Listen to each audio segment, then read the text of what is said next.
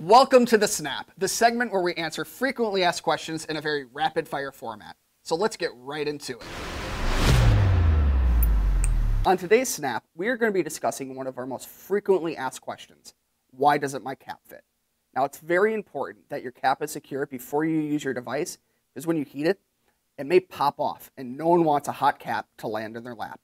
To secure your cap, it is extremely easy and only takes a few seconds. All you need to do is remove your cap from your device and give it a good squeeze in between your index finger and your thumb and put it back onto your device. And it's secure. Now, you may have some issues and it may still fall off. If that is the case, take it off your device again and squeeze harder. After that point, it will be completely secure. So in conclusion, just make sure that your cap is properly fitted to your tip before you use your device. It's super easy and only takes a couple of seconds and keeps you from getting burned. Thanks for watching The Snap. Be sure to check out all of our other videos on our channel, and be sure to comment, subscribe, and ring the bell to be notified when we release more great content.